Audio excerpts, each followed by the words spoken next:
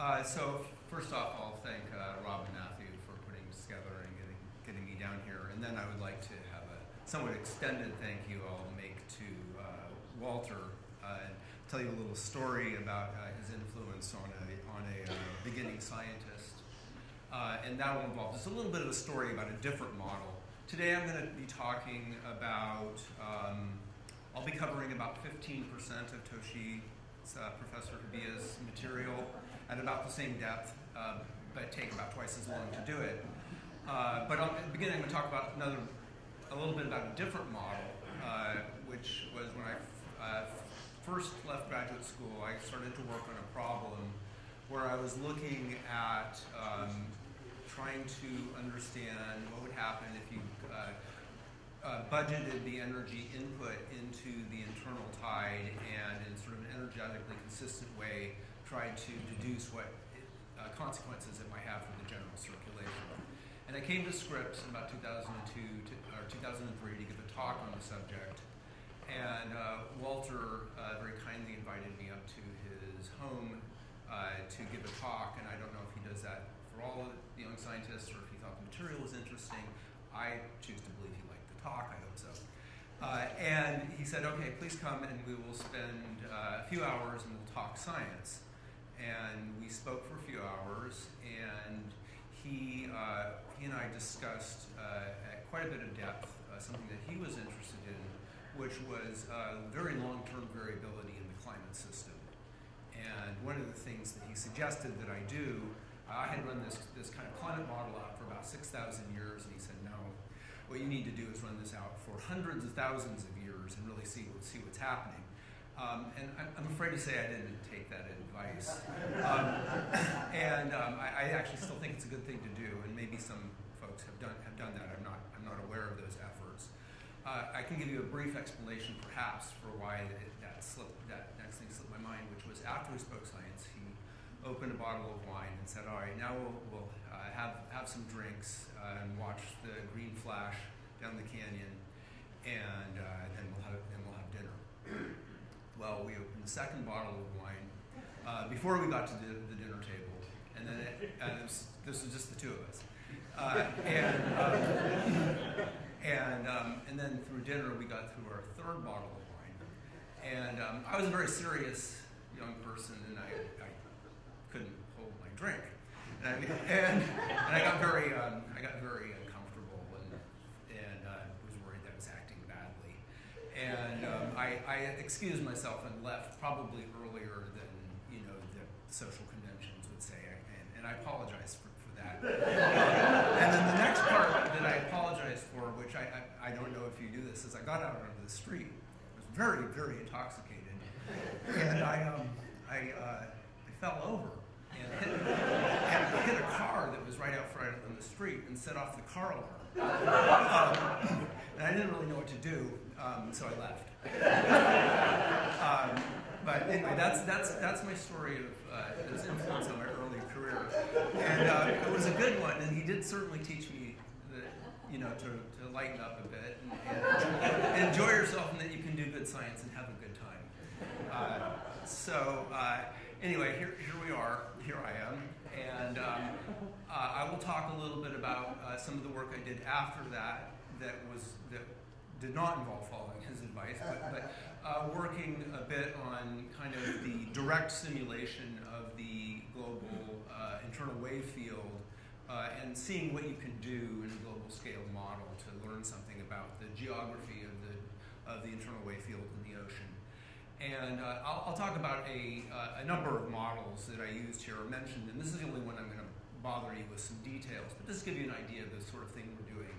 Uh, this is an eighth of a degree uh, Mercator, uh, Mercator um, grid model, so it has about a 12 to 6 kilometer resolution, depending on your latitude, 50 layers. It's an isopycnal coordinate model, and uh, and for a lot of this, these are forced by an atmospheric state, um, uh, not a coupled model, but you use an atmospheric state and planetary boundary layer model, and high frequency winds. Uh, and in some of the cases, there'll be tides. And uh, indeed, what you see, very much like what uh, Professor Hibiya showed before me, was a very interesting geography of the global internal tide field. Uh, and so I'll go right to it. Um, this is this is a visualization that you'll see. In gray is the uh, eastward surface currents, uh, and color is the wind field. Uh, there's no tides in the simulation, and uh,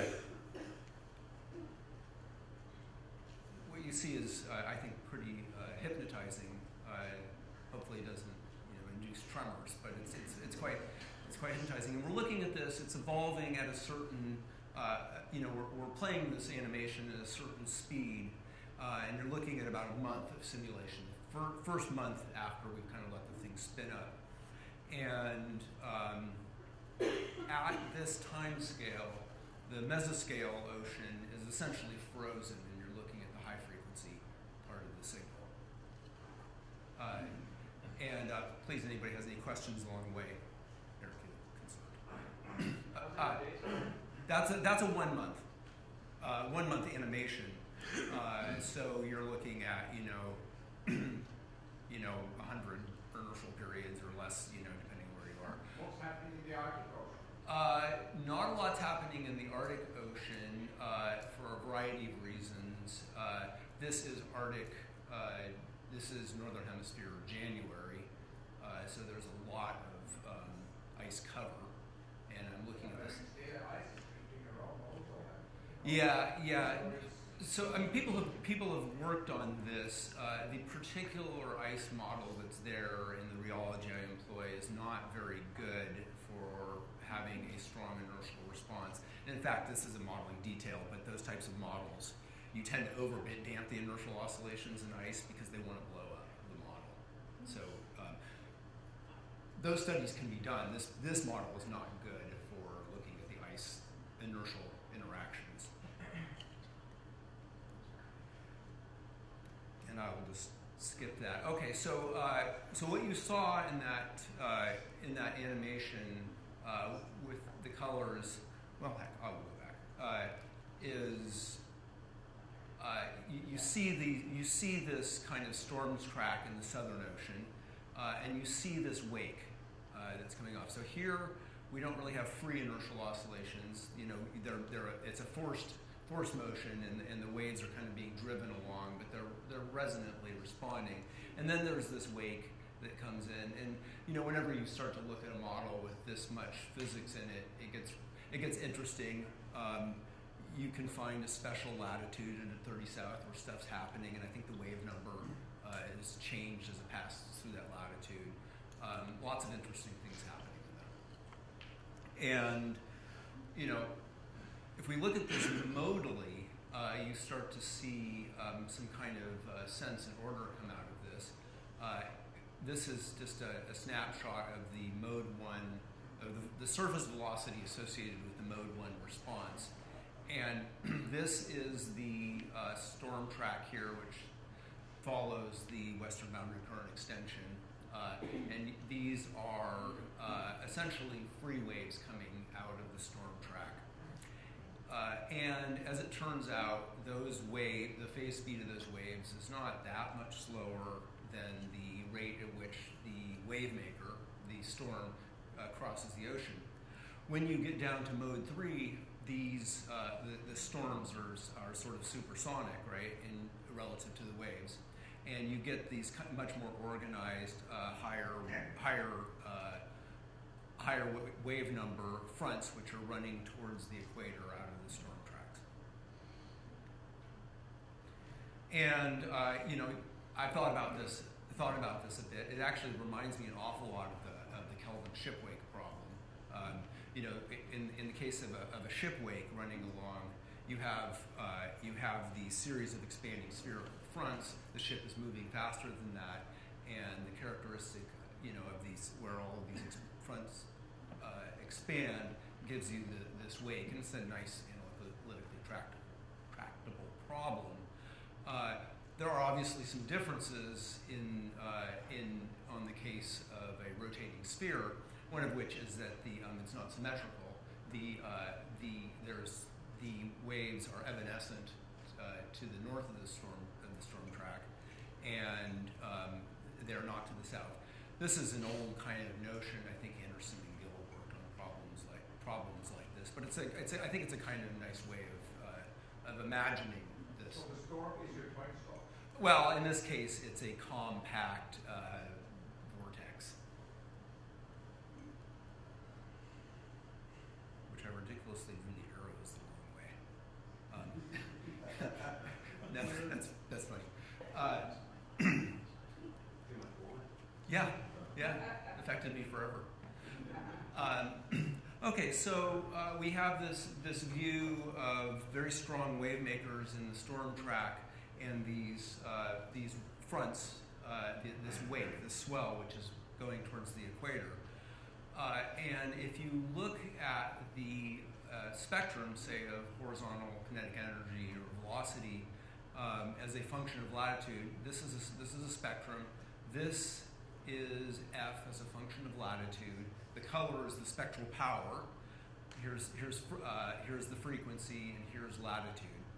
Um, you imagine that uh, if that the waves are painting their their signature to the south, they conserve f as they go, uh, and you as the waves radiate towards the equator, they carry the signature of f at their generation latitude.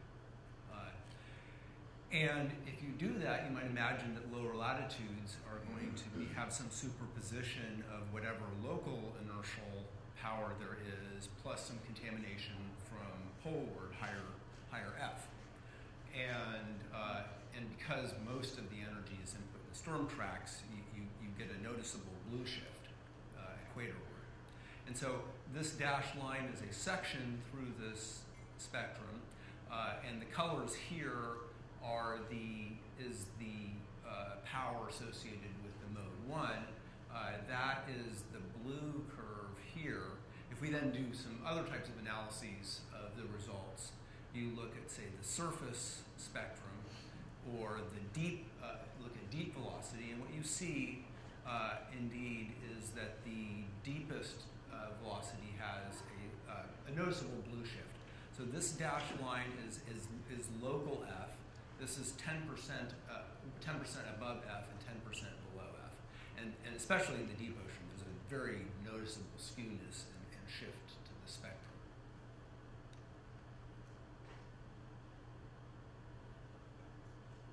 There's a, there's a, there's a, a few views you can take of this sort of process.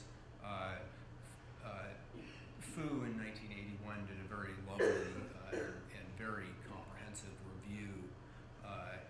and I, I actually think that the, the view that the model gives, which has influenced me, is somewhat at variance with his perspective because I think he, he was, I think he, he placed a lot of emphasis on kind of a bidirectional view and that the, that the excitation was broadband and there was also a northward component.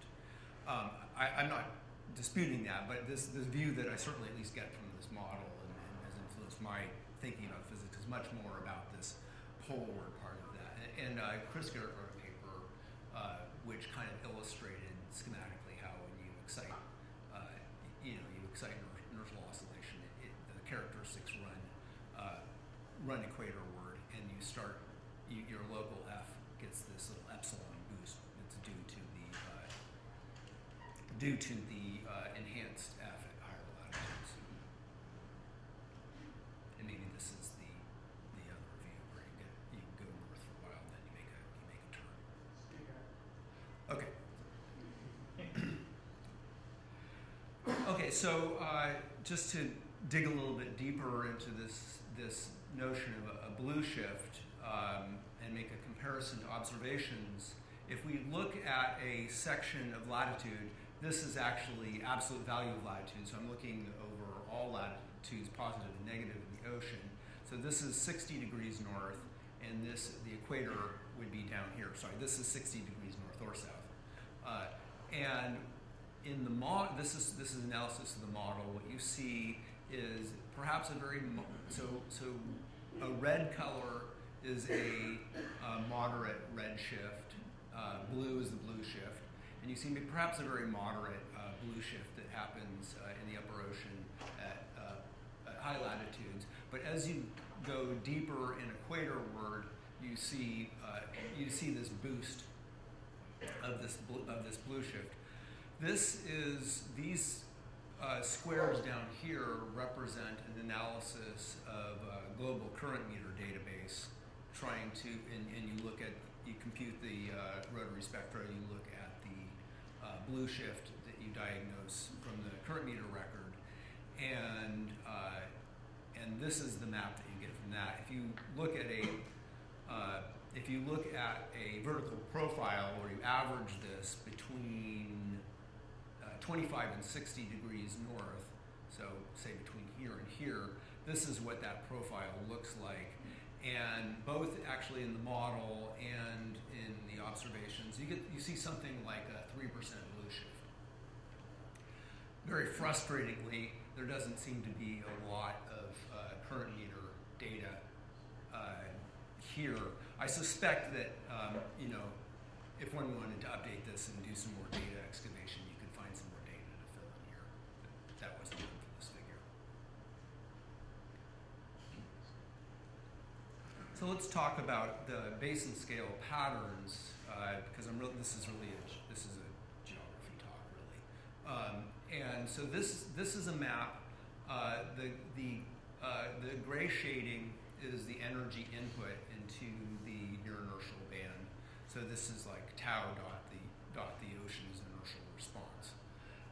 And the model, this is the energy flux representation of what you saw before, these equatorward propagating wakes, those are the green arrows. And the red is what we can uh, get out of the current meter database. And um, I deliberately had uh, withheld some of the, the, the plot that shows that things are a little complicated north of the storm track and a little bit more confused. And in the Southern Ocean, things are being more directly driven. But kind of, you know, between subpolar latitudes and, and, and the storm track, you definitely do see this this kind of equatorward swell. In terms of the energetics, uh, I'll quote some numbers that are similar to what Toshi said, but perhaps a little bit different. And I didn't, I'm not going through these in the level of detail that he did.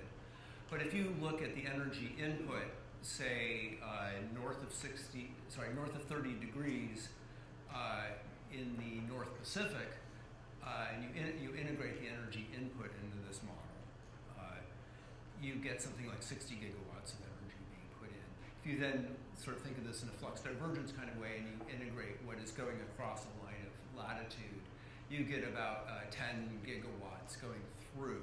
So you would you would say that that is something like maybe a 15% efficiency uh, um, in terms of what you put into what you get out. I uh, am happy to receive criticism for you know all the ways in which that model can uh, fail in this calculation because there's lots of things that the model has to do to do right. But one thing that I would say I, I feel like the model can do is it can resolve the very large scale patterns of pumping that uh, meet the boundary condition for a mode one radiating wave. And so I think that part is somewhat robust, although it certainly does depend a bit on the um, on the boundary layer physics in the model and the um, and the wind stress. In a very back of the envelope way, you can also uh, take something like the results from that current meter database and say that a kind of a typical southward flux at that latitude is about is about a kilowatt per meter, and make an estimate of what the energy input is. And I think that those uh, estimates are not uh, at odds with each other.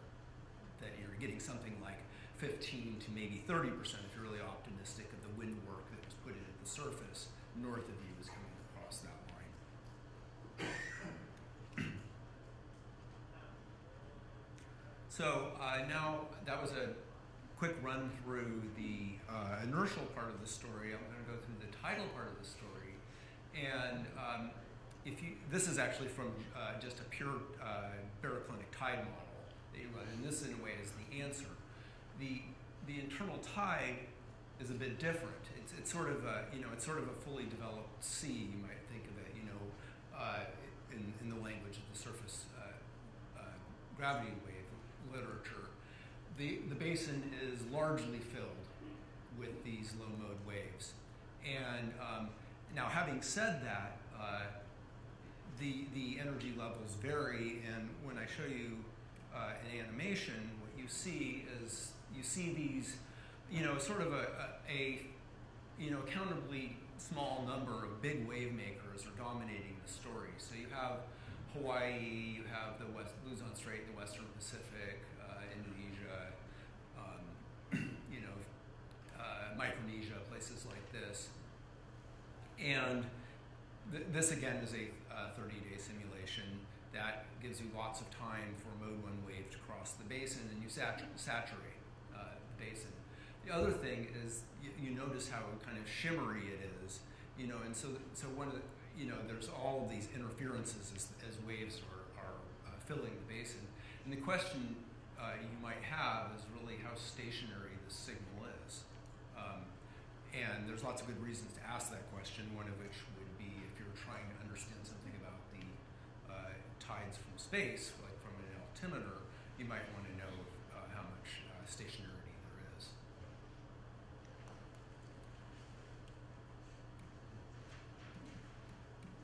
So uh, you know, so this is kind of the final story. This is this is a view of the surface variance, and you see these these uh, spider webs of, of variance that are a result of uh, a large number, but not infinite number of sources. They put together this kind of spider web. Uh, the diurnal tide is, is, is, is obviously trapped, uh, and we've seen that uh, earlier today and yesterday as well.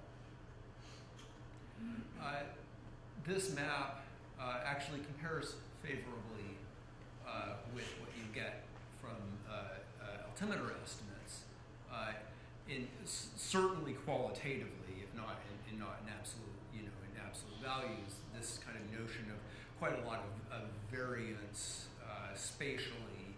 Um, one of the things about the um, the altimeter is that uh, because of its repeat time, uh, there are certain types of motions that uh, that the that the model will see that the altimeter can't see because of because they need very long long records to put together their estimates. So th- th- there's this kind of um, issue of whether of how stationary these tides are. Uh, that projection wipes out the opposite again. I'm sorry. Just thinking that the previous one, um, that Lola mentioned, um, it didn't show near natural tape, but it, it had shown that they'd been travelling extremely fast on the animation of the, uh, the way the projection works. So we could have got spectacular effects. But, well, we are. I'll show you a polar projection at, at our leisure at some point. Um, I've done this. so uh, I'm going to mention uh, a series of experiments uh, where we've tried to, you know, you know, people have been very concerned with what happens to these these tides. So in the simulation, you see these very low mode uh, waves that radiate across the, the basin. They seem very they seem very um, stable. They don't seem to lose energy very quickly, and they uh, they seem to you know in many places they reach the boundaries. And uh, you know there were some experiments that were you know series. I'm not showing every experiment that's worked towards this goal, but here's here's a few. So the Hawaiian Ocean mixing experiment was looking at uh, really a, a, strong source, a wave maker, uh, and trying to figure out how much uh, energy gets away, how much energy dissipates locally. And then um, the IWAP experiment that I believe Walter was involved in uh, uh, al- also worked on this problem a little bit. And then uh, most recently, uh, something we're still working on is the T-tide experiment. If you if you look here, uh, we were looking for a place where we thought we might be able to make some sense of where the low mode tide reaches the continental shelf. And this seems seems to be one of those places where um, you know there's a very large signal, and uh, you know the sources are well identified. You know the question is how do these things bounce off the boundary? And uh, I'm, I'm mentioning this for two reasons. One is which I want to talk a little bit about this, the, the reflectivity, and I also want to talk a little bit about the stationarity. So this is a uh, this is kind of a more local view of the energy flux. Let's not worry about these numbers, but uh, you see this beam, and you also see this view some evidence that there's there's a there's a reflection, and um, there are some T-tide PIs in the room. Let's say that there seems to be something like a 50 to 70 percent reflection at that boundary, um, and perhaps it's time dependent and spatially dependent. But but it seems like an awful lot of that energy does reflect at the boundary. So I think we're still wanting to know where the, these low mode tides are losing their energy, um, even if we are getting better at mapping where they come from. And uh, here's a here's a kind of semi-analytic study that was uh, done by uh, Sam Kelly, where he was looking at uh, uh, you know maps of the reflectivity. People were working on this problem. I, it, there's lots to do. so I was I was talking about stationarity. Uh, this is a this is a analysis from the GOLD model that, that uh, I introduced at the beginning. This is a uh, map of the energy flux, and the shaded areas are areas in which there's a lot of mesoscale activity. And uh, one of the things we wanted to do was look at how how much how different the view of the uh, energetics of this propagating waves were when you look at say an average over a whole year versus when you look at look at those uh, energetics over say a sliding 28 day window uh, and so this is the whole year view and uh, I'm showing T-tide here. I'm just going to show you something here. We're going to joggle back between a June part of the simulation and a December. And I'm, I'm going to say two things about this. One, there's a lot of stationarity here, and two, there's also a lot of stuff that, that changes. Now, this is a long plot, um, and so maybe it's a little unfair, but, but we, we, you know, we do want to say something about uh, the stationarity. And um, so, okay. So, uh, what we have here from the whole the year-long uh, simulation is estimates of how much of the uh, of the slow mode semi-diurnal tide is non-stationary, and you definitely see that it's it's very correlated with the, with the mesoscale eddy field, and in places you know you were getting up to 100 percent uh, non-stationarity. And uh, I'm not going to. I'm I'm done now. I'm going to summarize. I won't go into this in a lot of detail. But if you look at if you look at this from a refraction point of view, how much is the uh, how much is the eigenspeed of the waves changing due to, due to the mesoscale circulation? uh, this is a map of the of the standard deviation of the eigenspeed, and what you see is that um, you know here's a place in the, the Agulhas where they're spitting off eddies. You're getting something like in lots of places you're getting something like a 20% perturbation to the eigenspeed. You know, these are over these eddies are over small scales. How much that adds up, I, you know, I, I, I, don't know. We're still working on some of these problems, but that's where we are. So I'm going to uh, finish up here just with a, a, sort of a statement about what kind of views of efficiency we have in the energetics. So near, near inertial waves have quite a lot you know, they, they have, you know, depending on which math you like to do or which accounting, maybe half of the energy uh, input that the internal tides do. But interestingly, uh, they have, um, you know, a very different uh, kind of efficiency. Actually, I, I, don't believe that this number is right. I think that number should be 85%. It should, it's 1 minus Q. apologize. The near inertial waves seem to not most of the energy is in high modes and, and shear local to the generation site, and you know only 15% gets away. In the internal tide, something like 30% gets away, something like something like 70% gets away, and so if you have um, so that tells you that something like 100 to 200 gigawatts might be local dissipation in the internal tides, uh, and something like 300 gigawatts might inertial band. I will point out that the near inertial generation, in some ways, is a much less localized phenomenon that's happening as these wave makers are tearing across basins. So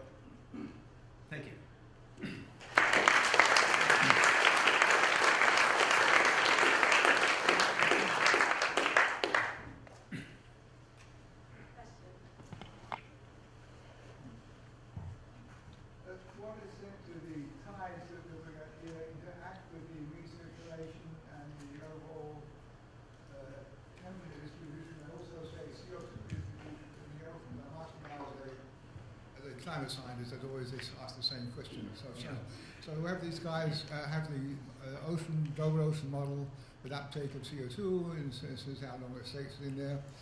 And then he comes here, listens to your talk, and he gets really upset. He says, My model is completely off, none of this stuff is in there. Uh, how do I combine the insights that you get here from the, the, uh, the, the, uh, periodic va- variations that you see with the longer term behavior of the ocean uh, in the climate system? Can you give you some advice on this, on how we would, proceed- would proceed? Uh, well, some of that uh, has been done and is being done, um, uh, investigations in that direction. And uh, I've been involved in some of that, and other people have kind of carried that on much further than I have. Uh, but if you take a um, if you take a map of the energy inputs, the source, you know, the energy which is being put into uh, uh, internal waves, and you do some kind of accounting where you translate that into a map of mixing rates or, or you know, energy loss. Um, you can do that in a general circulation model in which the stratification uh, is free to evolve. And at least the way we did it, um, when, when I set that up, I made some assumptions that that was all happening in a sort of a 300 meter halo around topography. So a great deal of that mixing uh, occurs uh, deep in the water column where it's not touching a lot of the stratification. So the view that I have of what, what that does, or, or had when I did that work at any rate, um, was that uh, for certain metrics, depends on what you look at, um, meridional heat transport or uh, meridional overturning circulation, it doesn't have a huge effect. But that's very much dependent on where you, the assumptions you make and where you put that mixing in. And if you can get that mixing to touch the touch the stratification, uh, then you start to see tho- those types of metrics responding. Uh, there are other things in which it really does seem to make a difference, uh, even with what we did, and one of them is in many details of the abyssal circulation reorganize when you do that.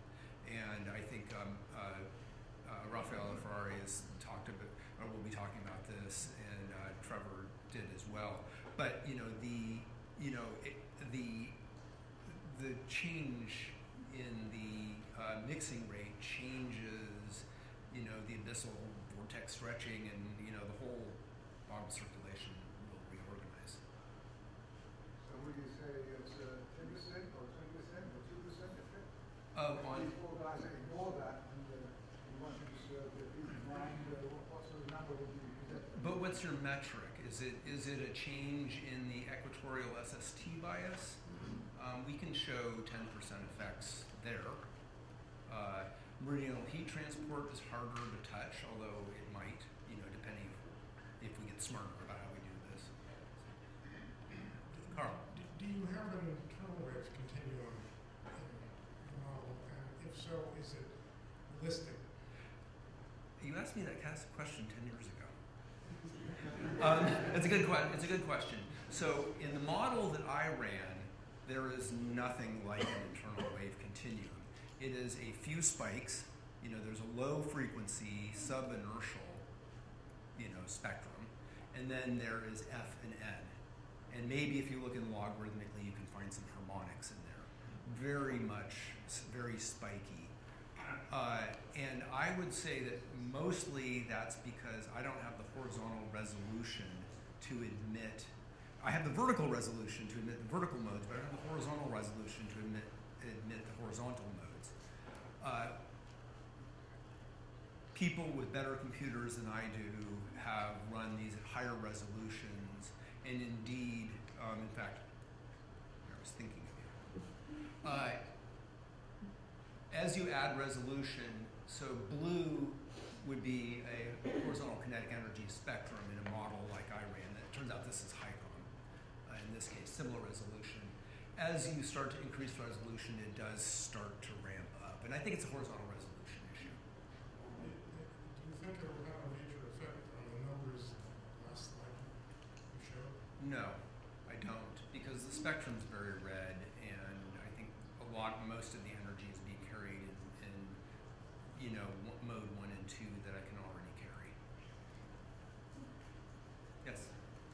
What's the dumping time The damping time scale was not was not prescribed. It's whatever the model does, um, and when you, if you run say just a a, a few layer tides only model, the time scale is probably much too long.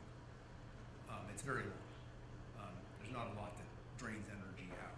In fact, the only thing that really would drain energy out in a simulation like that would be uh, quadratic bottom drag. Um, so I think very long time scales because the, the, the bottom tail of these waves has very weak velocity.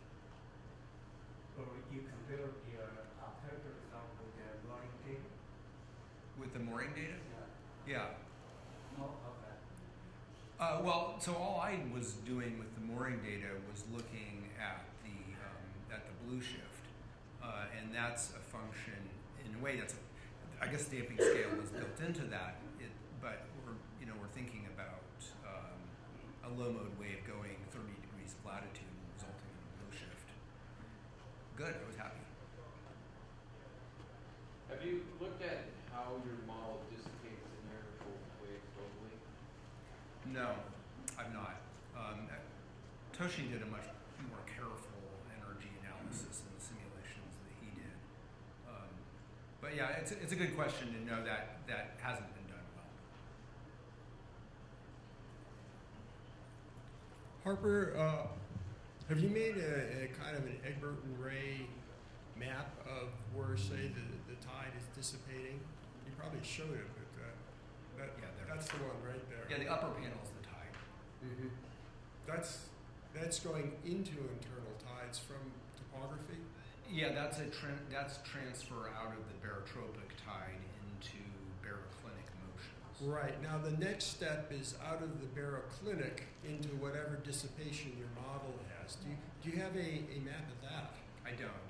I That don't. would be the the thing that when you you, you think uh, back in terms of Trevor's hy- hypsometric view of things, where the whole world collapses down uh, to this very elegant way of thinking.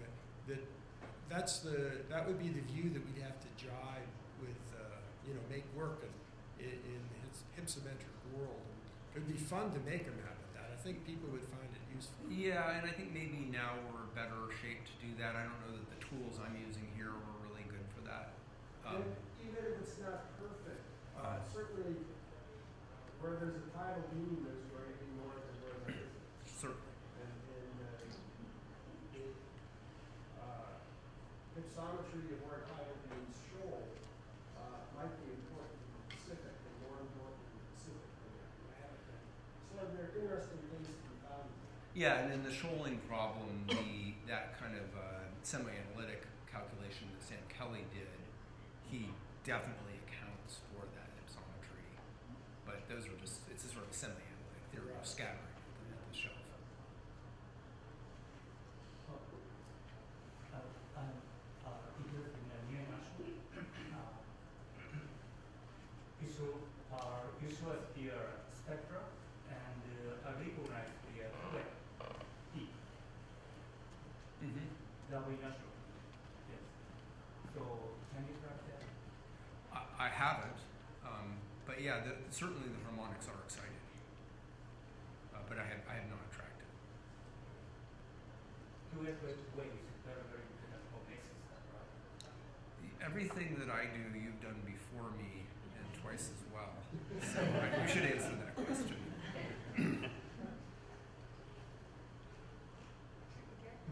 Hey, Harper, up in the, uh, up in the nosebleeds. Um, satellite observations of winds show high frequency variability, diurnal uh, wind variability can extend relatively far offshore. And then you know sort of the magic latitude range of 30 degrees north and south, you make a really efficient transfer of energy from those winds into the um, inertial uh, field. Um, and so have, have, you thought at all about kind of like higher frequency winds and how they may impact either the you know the near inertial field or the interaction of the internal tide with with um, bathymetry, et cetera? I mean, only only idly. I mean, you, you see what you refer to in these simulations. You do see these special and kind of a diurnal coupling the diurnal winds. Um, the you know the the reanalysis winds are very high frequency. You know, I'm using three hourly winds, which is you know not enough, I suppose.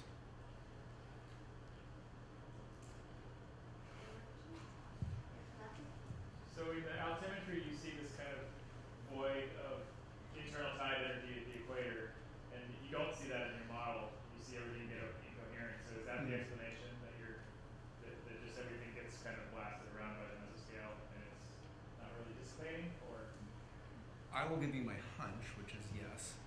Um, but in terms of doing, you know, taking that analysis through to the end, I, the analysis hasn't been done. Thank you. Wonderful talk.